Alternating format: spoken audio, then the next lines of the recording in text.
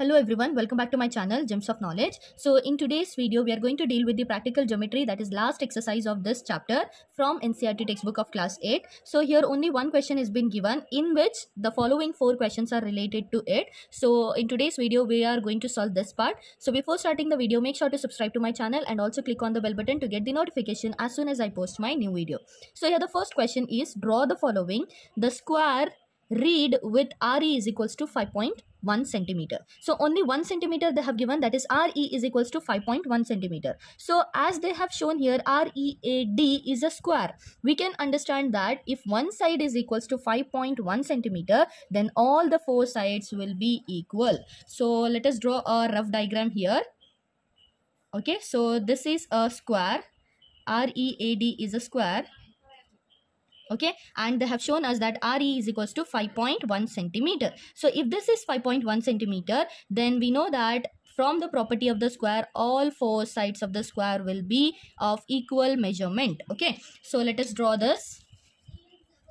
So one is of 5.1 centimeter. So from here we are going to take 5.1 centimeter.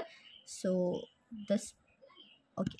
Okay. So let us name this as ea this is e and this is a which is 5.1 centimeter. This was 5.1 centimeter. Now if this is 5.1 centimeter we need one more condition here. That is we will take this point as 5.1 from here this is 5.1 so from here we are going to take this as 5.1 okay. And from here again we are going to take 5.1 as we have taken here but you can see there is no point to join here. So we cannot join this both the lines. For that what we need to do is we need to take a 90 degree over here because we know that all the squares all the four angles will be 90 degree okay? Now this is one arc we have taken. With the same measurement this will be a 60 degree and again the same thing this will be a 120 degree. And between this both what we are going to get is 90 degree okay okay. Now this line is nothing but 90 degrees line from here as well as from both the sides. So first what we will do is we will take this part. That is 5.1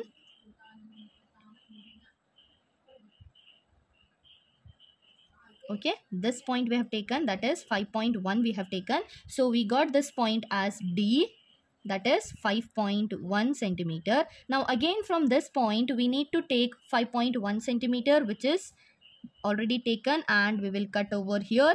Now we got one more point. So we will join this part as well as we will join this part. Okay, so as you can see here, this will be 5.1 centimeter. This will be 5.1 centimeter automatically. Okay, so this was the answer for the first condition. Now second condition you can see second one a rhombus whose diagonals are 5.2 centimeter and 6.4 centimeter long. Okay. So in the length it is already given. This is second one. This will be the case of the rhombus. Okay. And they have given length long that is 6.4 centimeter long they have given. So this part will be 6.4 and this diagonal will be 5.2 okay so what we can do is we will take this as a b c and d. Okay so now we will take this 5.2 centimeter.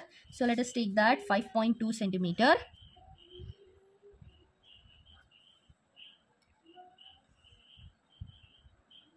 Okay so this is 5.2 centimeter which is bd is 5.2 centimeter. Okay now we need to divide this 5.2 centimeter by 2 so that we get the exactly middle point of this okay? So how we can get it? Two ones are two twos are 4 and 1 carry 0.6 so 2.6 will be the exact middle point of this okay? 2.5 and 2.6 so this will be the midpoint of the of the rhombus either you can do this and draw a straight line for this or what you can do is you can take the more than half of this line okay and you need to cut an arc over up and down okay. Then similarly from this side you need to do it one arc from this part and from this part. Now what you got is exactly the center point of this. You need to join this part okay. As you got this point you you need to join this lines also if you join these parts you are automatically done with. You are automatically done with this measurement will be 6.4 yes. As you can see here this measurement is nothing but of 6.4 this is 6 and 1 2 3 4 okay so this is done. Second one. Now look at the third case. A rectangle with adjacent sides of length 5 centimeter and 4 centimeter. Okay? So the length have been given. That is in the third case rectangle is given. Now suppose this is an rectangle whose length is 5 centimeter. So this longer side will be 5 centimeter and this shorter side will be 4 centimeter. Let us name this as M and O P. Okay. Now if you know uh, you know the about the rectangle then this will be if opposite sides of the rectangles will be equal. If this is 4 centimeter this will also be 4 centimeter and if this is 5 centimeter this is also 5 centimeter. Okay. Now let us draw this. So 5 centimeter we need to take first. This is nothing but 5 centimeter. Okay. This is P and O which is 5 centimeter. Then we need 4 centimeter from here. Okay. Before taking this 4 centimeter, what we will do is we will take an arc which is of 90 degree because one side, one angle must be a 90 degree to be a rectangle. Okay. This is again 60 degree and from here keeping again this is again 120 degree again by keeping on these two points if you cut an arc you are getting a 90 degree this is your this is your 90 degree okay now what you need to do is you need to measure 4 centimeter